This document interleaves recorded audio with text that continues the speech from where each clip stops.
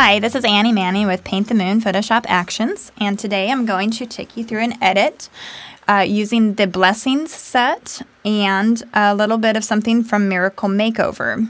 We're going to use one of the actions from Miracle Makeover today to do a little something different, something a little bit um, creative that the action um, wasn't actually titled for, but I use quite frequently um, in different applications. And um, first, I'm just going to do the basic artistic uh, edit on this. I'm going to use Beloved from the Blessing set and run that very quickly on here. And I'm going to turn that up and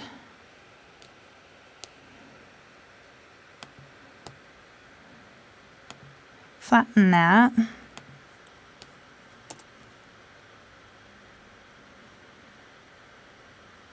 And then I am just going to run uh, this foray from Blessings very quickly for some added pop and flatten that. And then one last little I want to lighten it up just a little bit. And then I'm going to go up to my picture perfect set and I'm going to run uh, the mid-tone booster. Take that down just a little bit there.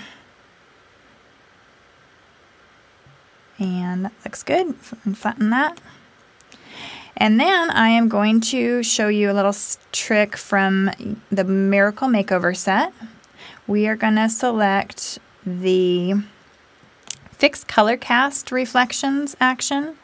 And I'm going to use this today to change the color on my image. I'm going to um, change, uh, just for sake of demonstration, change the color of this flower and her hair clips. Um, this is an action that is uh, was designed to fix color casts. Say if you're wearing a red shirt and you've got a red reflection on the skin, you can uh, get rid of that that reflection with this action. Um, it's really good for spot corrections like that, but it also is a really fun way to change colors on different objects in your image. Uh, you can use it to neutralize color casts, but you can also actually just change colors to whatever you wish. Um, it comes in handy. I use it a lot if a subject has, say, um, a pink hat on and a red shirt. I can change the pink hat to be more in tone with the red shirt or what have you. If something, if tones in, in their accessories or their clothing is not quite matching, I can make a match better with that. Or if I just have an odd color that's popping out too much and clashes with the rest of the image, I can change the color of that with this action. So we'll show you how it works. We're going to just run it really quick and it's going to tell me uh, to select whatever color I want. Usually you would be selecting if I was getting rid of, say if there was a cast on her cheek here of a color, I would select from a good area that I want the color to match. Um, in this case, we're going to be picking our own color. So I'm going to go through here and um, let's change the color to a blue. You don't want to get the color too saturated um, so stay in over in here in the more muted areas. And now it's telling me just to paint over it. Um, it's set to 68% and you'll want, if you're going to want to change a color completely, just take it up to 100%. I like to have a little bit show through so it's not all solid one tone, so maybe 75% and then we'll play with it and see how it looks after we get going. So we're to, uh, you want to zoom in when you do this make sure you don't have any spillage.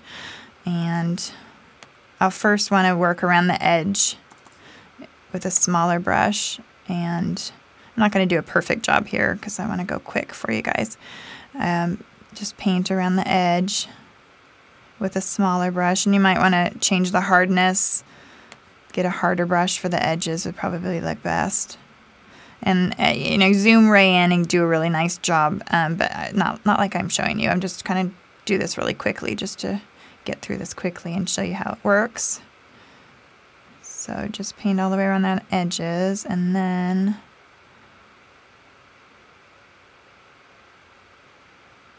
when we get to the end here, oh, and I have my brush set at 55%. So my brush wasn't set to 100% from the last thing I was doing, so we're only seeing part of that effect on there. So I'm going to go back over it again really quickly.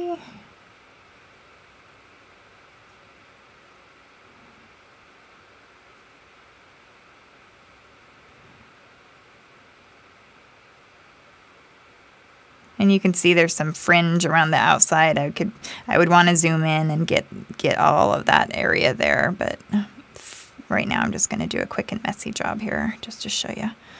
And once we got that edge done, I'm going to make my brush size larger. You can use your bracket keys.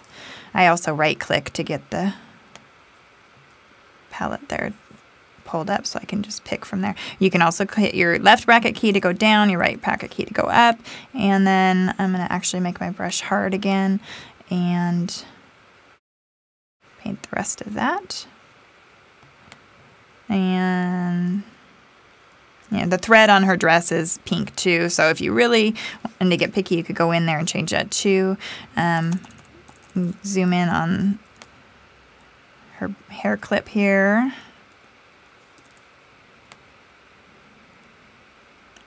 And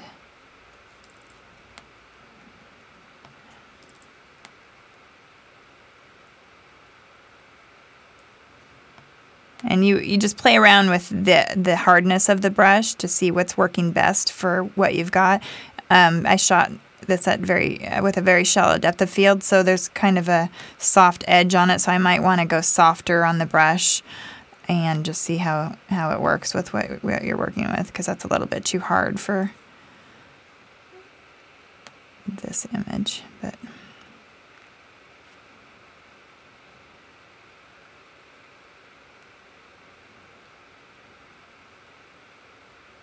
Make sure you don't hit stuff like hair and whatnot when you're doing this.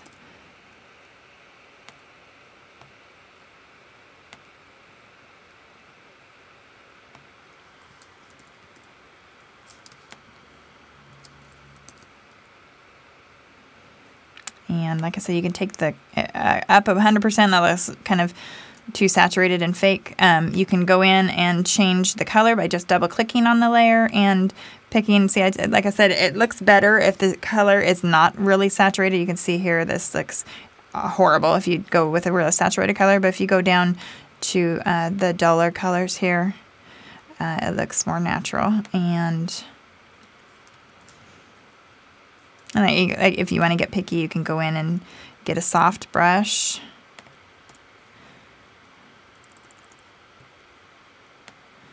And do some of this. You could even lower your brush opacity to do these little areas here, just to get some of that pinkness gone there that's kind of falling out on the shirt.